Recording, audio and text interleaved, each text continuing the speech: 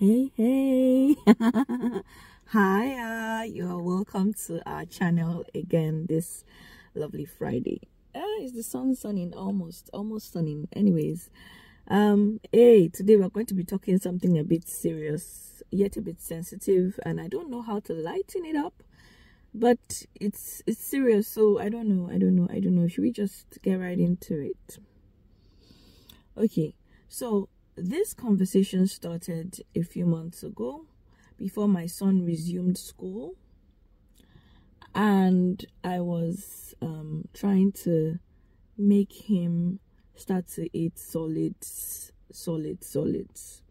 Um, I don't know if your child is like my child, but my son is three this November, at the end of November 25th, and he hasn't started to chew on food. I think I missed that um, development for some for some first of all transitioning i'm transitioning his young brother now. Transitioning a breastfeeding fully breastfeeding no bottle.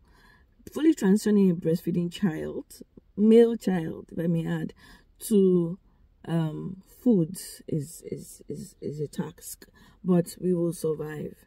But i think i was i've said it before in my weaning video that i was ill equipped and there were some things I just, some processes I just botched up, I just messed up. And I think it's still affecting him till now. So I feel guilty to an extent. So anyways, before he resumed this class, I felt a need for him to at least start eating to an extent some solid food. And to, to an extent, I was right. I felt that this teacher may not be as patient or as understanding to still be spoon feeding my child, a child that has no no neurological problems as such, a relatively extraordinarily normal child. you know, and he's still you're still spoon feeding him etc and it's not even solid food, you're still spoon feeding him pureed food. So I I got into that um, wind of anxiety and you know worry basically over and concern over him that how will I want my child to I want my child to be excellent in every ramification. I want my child to cope. I don't want my child to be a problem to anybody and I don't want I just want my child to to excel in the best ways that he can without seeming like a trouble to anybody. So one of those days where I was trying to teach him to eat solid foods and I'm not I wasn't successful by the way um i got frustrated i got angry and i felt because my my son will put the food will put the rice will put whatever. In fact before that he would willingly come and put the rice or put the eba or put whatever in his mouth. He would chew it and then he would get to the point of swallowing and then he would spit it out. And i'm like please if there's any doctor in the house please what's happening I'm, I'm, I'm still now i'm even still baffled. But i know of a friend that her son was doing similar and her son um kind of moved past that at the age of five. So my son is still is going to be three. And there's just a lot of judgment sometimes, even when I go out, people looking at, oh, you're still feeding your child pureed food. Okay. Um, this child is spoiled. So some of those thoughts got into me, and one of those days I was super angry with him, and I was flogging this child to eat. And there was nobody at home. It was just me, him, um, and his brother. Okay, I think at a point, she that stays with us was around or she saw it and she was like, ah, I think you're doing a bit too much. And it wasn't until I think I, I don't, I, I, I, I, I spank my child, which is which means I hit my child, but I don't use any um I don't use violent languages on him. I don't I don't um let's just say the extent of in quote abuse because i feel i abused him that day is hitting or spanking my child. So i was so angry that it wasn't until my son i think i hit him across the face or so that he should eat his food. And then he he he seemed dazed and then i i caught myself. I said okay. I know this is sensitive stuff i'm saying on online but yeah. I caught myself and i'm like what did I just do? What did I just do? And I I just wrapped it all up and I asked, I told him sorry. and he wasn't exactly crying at that point. I think he was also surprised. He was also shocked, and then he really started crying. And then immediately I went to my room. I cried. I told my husband, "Oh, I think I just did something criminal." I think I just I know Africans spank etc, but I know deep down in my heart that I had lost some form of control. You know, yeah i'm sharing this. This is vulnerable moment. I'm sh- uh, god please don't let this come back to bite me. Anyways so um we have cctv in the house. So i went back and i watched the video and i watched myself and i'm like what what what what actually came over me? And it started from worrying. It started from comparing myself or compare my baby to other babies. It started from not wanting him to be less, not wanting him to be adequate, to the point of now almost actually it was abuse, actually abusing him to rectify something that I felt that I had done as a mistake and I was scared that wasn't rectifiable. I don't know if I'm making any sense and I don't know if this is going too long. I don't know if this is too heavy for anybody, but I'm getting somewhere so from that moment i started to I, I, I the first person i went to, talk to of course is my is his father my husband because i noticed that i am more quick with my hands than he is even till now he's he's not um, as quick with his hands and we began to kind of compare backgrounds or i compared backgrounds his parents they never beat him. His father only beat him once, and he really did something naughty to deserve that spanking when he was a child. My father never really beats me. I can't even remember if he ever beat me. But my mother, right, I feel she had anger issues. My mother beat even some of my siblings to coma. it's funny, but it's true. My mother was my mother was a lioness and and and in every sense of the word. And but i feel that there was some abuse that she must have experienced and then kind of passed on. So i began to because I, I i i i i am someone that is i i can be reflective. There's something that i don't like I sit down, I think about it, I pray about it, and then I try to deal with it. I look for solutions for it. I'm still seeking solutions, you know, within my means. So I, I spoke to my sister. And coincidentally, I think she sent me something from one doctor. I can't remember his name now. I I told you guys I didn't exactly prepare for this video, but I will see if I can find his name. I will link it and that doctor spoke about something that happened to him why his child did not um, say happy birthday on his birthday or something. And then he yelled at his child in front of everybody basically disgracing the child in front of everybody. Oh by the way I've, i think i've i've spanked my child in front of everybody. And it was still food related matters because he wasn't eating outside and i was really spanking him to eat because i was so fed up. So yes that has also happened before God have mercy.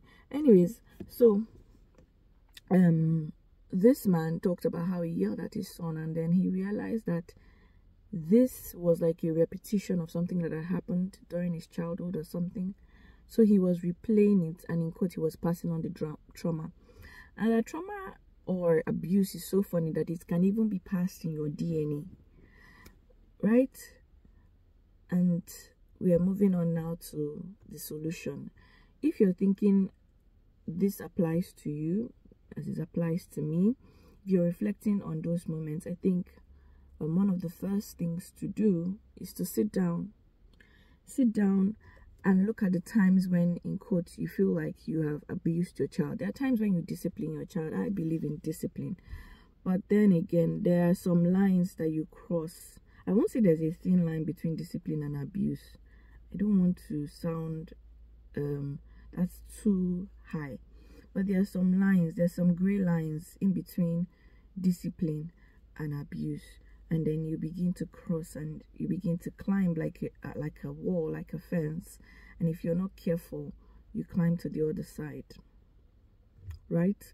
So i'm sure this this this is i'm sure somebody's understanding or relating what i'm saying. This this discussion is not in vain.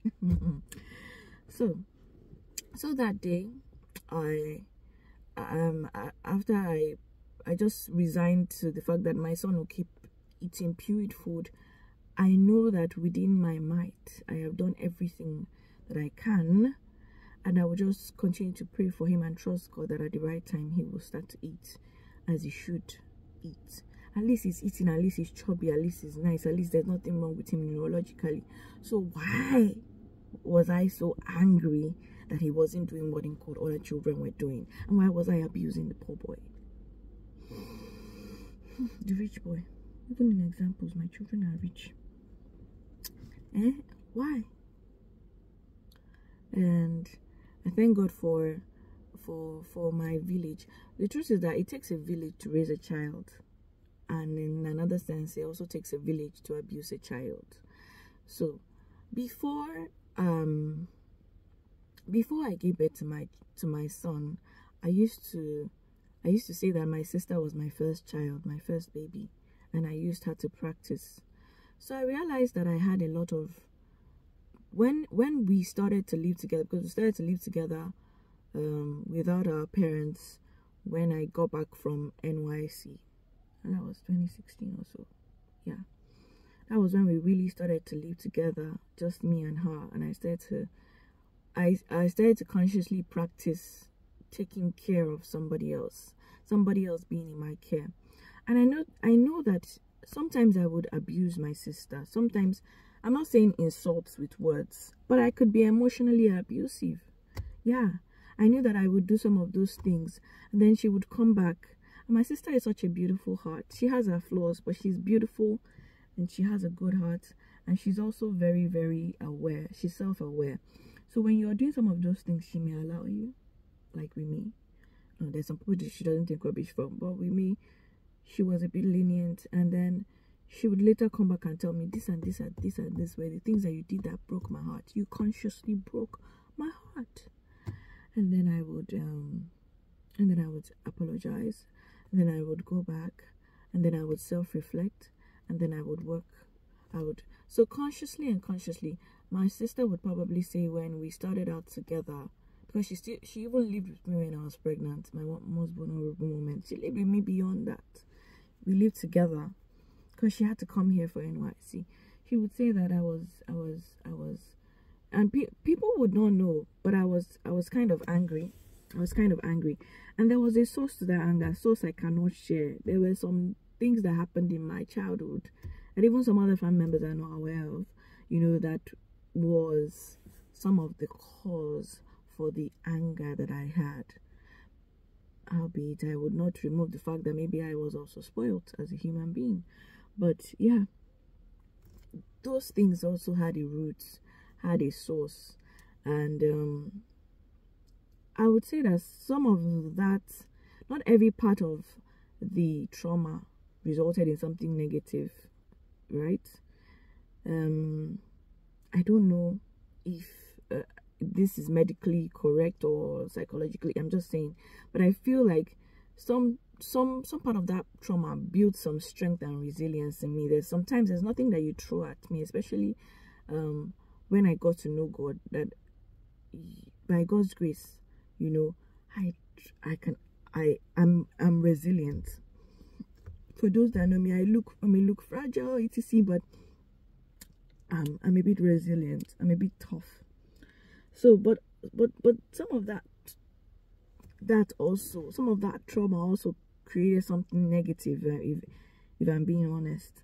So, yeah. Um. So my sister let me not deviate too much because of time my sister i practiced um becoming a more a better person becoming a better person. We're always working at better versions of, of ourselves. And with my son i'm practicing that as well.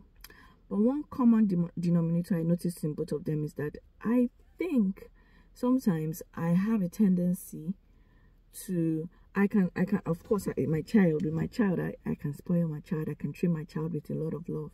But when it comes to abuse, I think it's easier to abuse maybe my child or to abuse maybe my spouse or to abuse and um, the word abuse is a very heavy word but I, I, I can't think of a lighter word to use. Please if you guys because i'm not necessarily uh, you know abuse is a very strong word to be honest but i think a lot of what we do here to an extent is a degree of abuse. There are different degrees of abuse but i feel that it's easier to be emotionally abusive maybe even physically abusive maybe verbally abusive. I'm not i'm not verbally abusive. I used to have a sharp tongue when i was in uni or no maybe secondary school. Uni had changed. But those that remember me from secondary school knew that my mouth was a bleed. It would cut you. But yeah i think we're more abusive to those who are closest to us because we know that um, they've seen us and sometimes they have nobody else. They have nobody to report us to. They have nobody to to share that image of us with that that we're afraid of that that perfect image that we have. We're afraid of damaging. We, they have nobody to tell. So we are our best and our bestest moods with them because yeah we're all that they have if that makes any sense right? We're all that they have. We're truly all that they have. So we are we are both our best selves with them. We show them our best selves but we show them our worst selves as well because because there's there's there's there's there's nobody else. Yeah i have to go now. There's nobody else they can they can share that with now, with my child, I'm more mindful because I don't want to pass on any trauma to my child. I don't want to pass on anything negative to my child. Um, so, yeah, mostly what I'm doing now, what, what I've done is reflective, but I've also done mindfulness. I'm also very conscious. When it's time to discipline him, I take in a breath or two. When I'm doing anything, I try to do it. So I had a call come in and yeah so yeah. Well where was i? Um so so mo most of what i'm practicing now is mindfulness and i'm also practicing um i'm practicing mindfulness and i'm practicing reflection. I'm conscious you know. I'm more conscious and then i speak to people. I speak to my sister my husband from time to time. Like what i'm doing now i'm sharing. I think another thing one can do is to seek professional help therapy which i don't really know if we have here. But i don't know i don't think my case has gotten to that extent of seeking therapy. But yeah just let's be mindful. Let's be mindful let's be reflective. Let's sit back and think back on both the positive and negative experiences that we had as children both with our parents with our villages uncles aunties our friends the schools we went to. And let's um let's come and let's accumulate them and you know pick out the goods like sieve put them together in one place and say okay this will be beneficial if i repeat. Um and bring out the negative put them in one place and see how is this affecting me now? How can i work on this? And how can i not pass this on if that makes any sense. That's the summary of my thoughts my discussion my reflections today. I hope it has been helpful to somebody out there. Much love from this end of the world and please don't judge me oh. don't judge me. We all have a we all have our skeletons in our cupboards. I just brought out a bit of mine. Thank you and much love from this end of the world